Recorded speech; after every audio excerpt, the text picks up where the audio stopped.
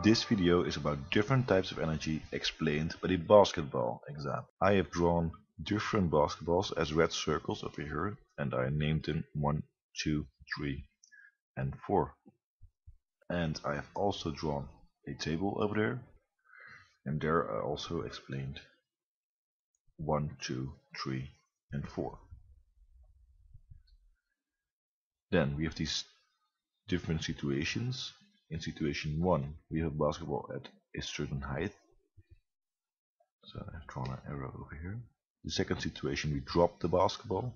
It's falling down with a certain velocity.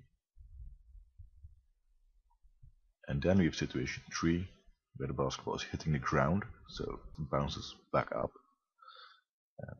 I've drawn these arrows here. And then we have situation 4 where the basketball is lying still on the ground. Then over here I've shown different types of energy. We have there potential energy, kinetic energy, thermal energy and elastic energy.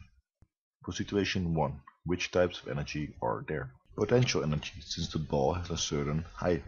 There is no kinetic energy, since the ball isn't moving, but there is thermal energy, because the ball has a certain temperature.